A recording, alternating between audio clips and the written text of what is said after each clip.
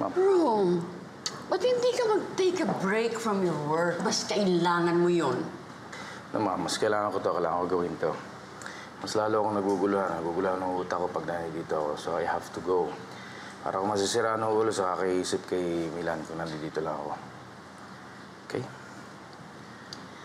Well, I guess I understand.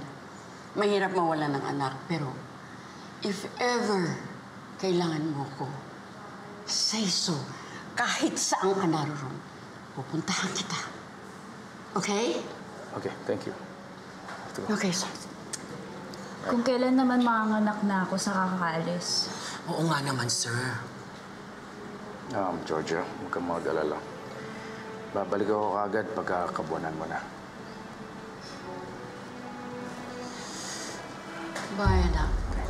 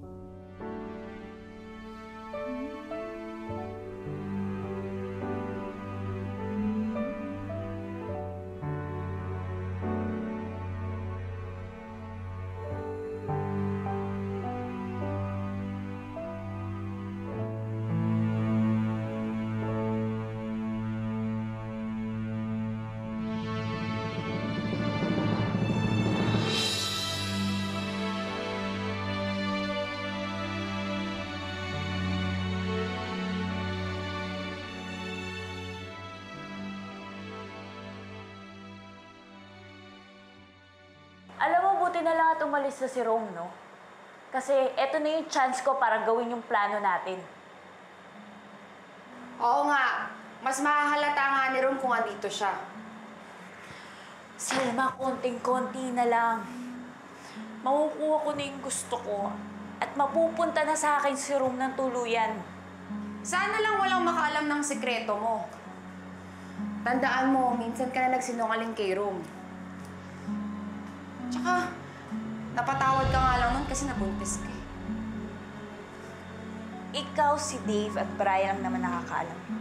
Bakit? Si Angelo, gaano ka kasigurado na hindi yun pipiyok? Baka nakakalimutan mo. Magkakasama tayong binuo yung plano. So kung pumiyok siya, edi parang pinahamak din niya yung sarili niya. So feeling ko, isasama niya yon sa kabatayan niya, yung mga sikreto natin.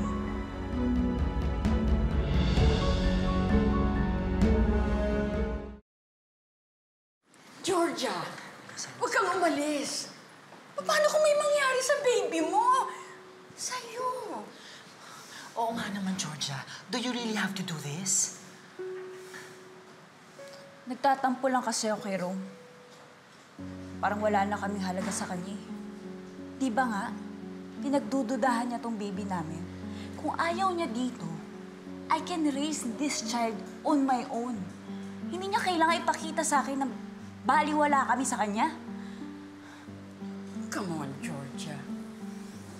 May pinagdadaanan lang si Rome. Mawawala din yon. Lalo na pag nanganak ka na at napatunayan natin sa kanya na siya talaga ang ama ng bata. Georgia, please. Mama, I'm sorry. Pero kailangan ko umalis. Papalipas lang ako sa loob. Selma, tara na. Georgia. Mama. Georgia! Georgia, Georgia, maaalagaan ka namin dito eh. I have to go. I'm sorry. Georgia, please. Selma, pagsabihan mo yung kaibigan mo. Georgia! Ay, naku. Naku,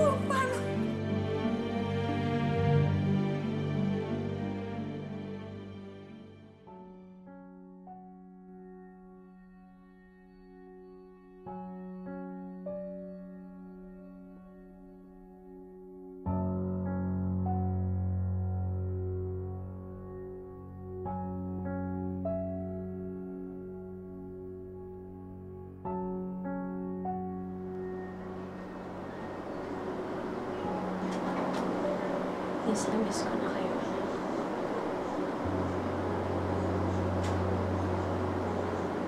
Ayoko na rin mag-isa. Hintayin niyo ko ha. Magkakasama-sama na tayo.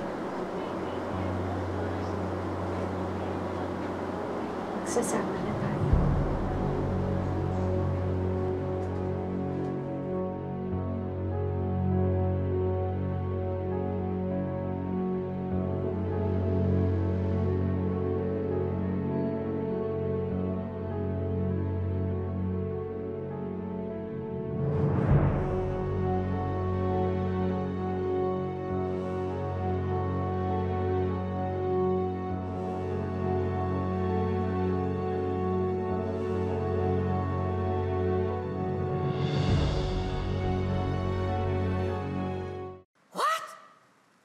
na si Georgia? Yes po, tita. Eh, ayaw niya nga pong pasabi muna sa inyo. Eh, kaso hindi ko po matiis. Nakakaawa na po siya eh. Kailangan niya po ng katuwang sa pag-aalaga ng bata. Pakausap mo sa akin si Georgia ngayon din. Naku, tita, hindi po pwede. Kasi po, pag nalaman niyang sinabi ko sa inyo, aawayin ako noon for sure. Hindi tama itong ginawa ni Georgia. Hindi man lang niya pinaalam sa akin nanganak na siya. Nanganak na si Georgia? Yes, sir. Kaya lang ayaw pa rin umuwi ni Georgia kasi nagtatampo sa inyo. Sino kausap niya, ma? Si Selma. Hello, Selma. Nasaan kayo? Rom, um, itatext ko na lang sa'yo yung address. Pupunta na kayo dito. Pero ah, usapan na, huwag mo sasabihin ako nagsabi. Mahiyari ako kay Georgia. Sige. Salamat. Sige, ingat kayo.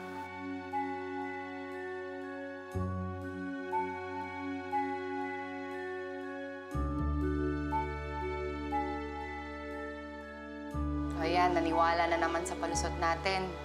Pupunta na daw sila. Oh, narinig mo yan, baby? Papunta na dito ang daddy mo. At magiging isang happy family na tayo. Ha? Galing talaga ng mga mimi.